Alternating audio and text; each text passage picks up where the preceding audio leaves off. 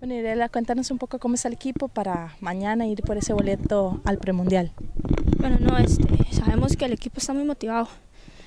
El equipo eh, ya sabe que venimos. Venimos por esa clasificación y estamos muy, muy motivadas.